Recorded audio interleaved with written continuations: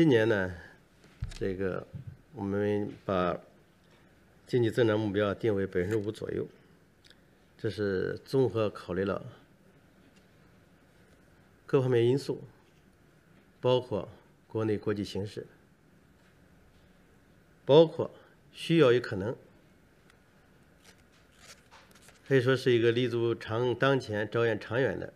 这么制定的。具体来说，从当前的需要来看呢，大家都知道，从当前的需要来讲，我们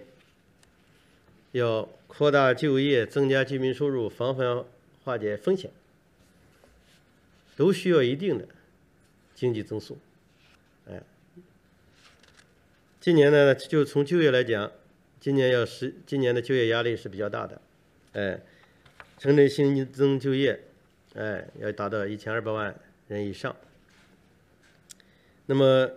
根据这个就业跟经济增长的这种大体上的这种对应关系，或者说呢，根据经济增长的对就业的这种拉动效应，大体测算一下，哎，要实现我们的就业目标，哎，大体上呢也需要这个保持百分之左右的这种增速，哎，当然了，这还考虑到其他方面的一些需要，哎，这从当前的需要来看。嗯，从我们从长远来看，或者是从中长期来看，我们要到二零三五年实现，哎，就基本实现社会主义现代化。哎，到二零三五年嘛，我们制定的目标是要基本实现社会主义现代化。那么，人均国内生产总值，我们就要达到呃中等发达国家的水平。这里边呢，虽然没有数量的这个。明确的数量要求，但是里边呢隐含着，哎，对增速的要求。所以根据各方面的测算呢，嗯，从现在到二零三五年，我们要实现基本实现社会主义现代化的这种目标，那么呢大体上要保持在，哎，接近百分之五吧，四点，反正不同的测算数据不太一样，有的说四点八，有的四点九，哎，有的是需要五，大体上需要百分之五左右，这是说呢，可从需要来讲，另外从可能来讲呢，综合分析了当前我国经济增长的支撑条件，哎和有利因素，哎综合来权衡的。嗯，我们呢这些年来啊，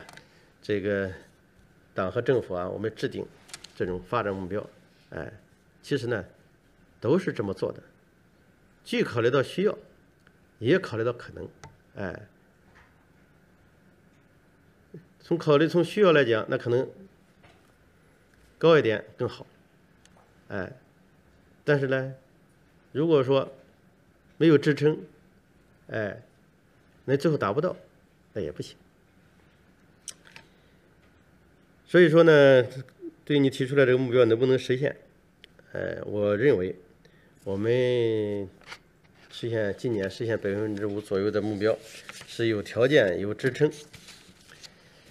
就是，呃，其实呢，这段时间不不光是在呃中国的国内，包括在包括国际上，包括一些主要的国际机构，哎，对今年中国的经济增速做了一些预测。哎，做了一些预测。现在一些主要的国际机构啊，哎，像 IMF 啊，像这个呃其他的一些组织，都做出一些预测，包括一些经济学家，哎，哎，对这个事情呢，也进行了这个讨论。哎，同样是见仁见智，哎，见仁见智。我们说有信心、有能力，这个。实现这个目标，我想呢，我说，呃，在这里呢，我也不做这个，呃，这种从学术上、从理论上来阐述这个问题。我是说，就是从我们从我们的基本的逻辑、基本的常识这个角度，我来谈这个看法。一个就是支撑中国经济这些年发展，包括去年我们实现百分之二的增速，这背后的基本动因。它是没有改变的，哎，而且在很多方面是在显著增强，哎，你比如说报告中也讲到了，中国经济发展具有诸多优势啊，包括我们的这种超大规模市场、这种需求优势，我们的产业体系完备，这么一个供给优势，嗯，我们这个高素质劳动者众多，这么人才优势等等等等，这些因素啊，这些动因，哎，它是没有改变的，哎，比如说我们的这些年的新动能，这个在快速发展。哎，一年比一年增强，哎，像我们这个新能源汽车啊，在短短十多年就从就从这个从无到有哈，嗯，发展壮大，呃，去年产销量超过了九百多万辆，哎，报告里边讲了，嗯，产销量占全球的比重超过百分之六十啊，等等。我说这是一个方面，就是说支撑这些基本的动因没有改变。第二个方面呢，就是今年以来，哎，积极经济发展的积极因素在增多，同时呢，去年制约经济发展的一些不利因素，哎，我讲是一些不利因素啊，在趋于弱化，哎，一些不利因素趋于弱化。前面讲到了，去年年初啊，一二月份啊，我们当时还在为疫情的平稳转段在努力啊，哎，今年呢，哎。这种疫情的影响，包括疫情的所谓疤痕效应，在减弱吧。比如，这个在防范、在化解房地产、地方债务、中小金融机构这些风险方面，去年通过我们各方面的协同努力，取得了积极成效。哎，所以房地产的这种投资销售嘛，哎，总体上呢。是有所好转，或者说至少是在稳住吧，哎，哎，当然有些方面呢，哎，这个还有待这个，呃，这个一个情况呢还还在变化，这是。但从总体上来看，哎，房地产的形势在有所好转，地方债务风险嘛得到整体上来看呢得到缓解，哎，中小金融机构改革化险的那种步伐也在加快。嗯，我前面是讲这个总体的，当然，就这些重大的风险隐患的防范方面，哎，我们还是要任务呢，还仍然艰巨，而且同时呢，也出现了一些新情况、新问题。哎，但不管怎么说，毕竟今年跟去年相比，哎，它总的是在向好的，而不是在恶化的。哎。等等，还有一些因素，哎，同样的，大体如此，同样如此。我这样讲，绝不是说无视困难和挑战。实际上，今年中国经济发展面临的国内外形势依然严峻复杂，哎，依然严峻复杂，哎。这个，所以政府工作报告里边，大家注意到是用了较长的篇幅来阐述我们面临的困难和挑战。这个困难嘛。哎，年年都有，哎，日子嘛，年年就是什么日子，年年难过年年过，哎，这个最后过得还不错，是吧？嗯，这个中国的发展这些年，这个如果拉长时间周期来看，从来都是在应对困难和挑战中，哎，发展的前进的，哎，壮大的，哎。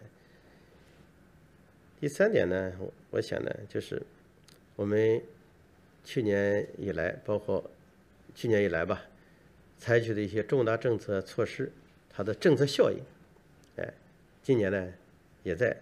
哎，持续显现，不断显现，哎，哎，因为大家都知道呢，政策的实施，哎，从见效，从实施到见效，哎，那是有需要一个周期的，哎，所以有些去年采取的政策，特别是去年下半年采取的一些政策的效应，主要会在今年在显现。此外呢。我们应对了前些年的困难，特别是去年多年少见的这种困难，我们也积累了丰富的这种经验。哎，我们呢，从财政金融状况来看呢，我们的中国政府的债务债务率不到百分之六十，哎，这个我们的金融呢总体稳健，所以呢宏观政策还有比较大的空间。哎，这个。为了实现这个目标呢，政府报告里边已经才这个提出了，哎，很多的重大政策，哎，如果说将来中国经济，哎，遇到这种超预期的，哎，这种冲击，或者说呢，这种国际环境发生超预期的变化，哎，我们政策工具箱里边还有储备工具，哎，还有储备工具。所以基于这个，从我个人理解嘛，至少嘛，我就是说从这么几点，哎来看嘛，所以报告中讲嘛，总体上来看，今年呢，机遇大于挑战，有利条件强于不利因素，哎，